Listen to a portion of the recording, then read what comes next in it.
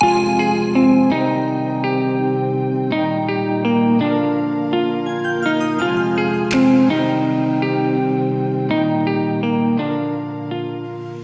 à tous, je suis Ludovic Glesven, enseignant-chercheur au sein de l'équipe physico-chimie de l'environnement au laboratoire Lazir à l'Université de Lille.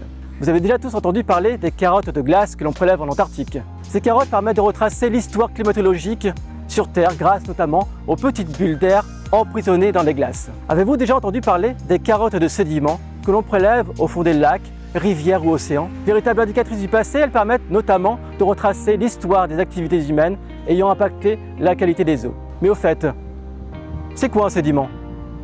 Comment se forme-t-il? Comment le prélève-t-on? Qu'utilisent les chercheurs pour mener à bien cette exploration du passé?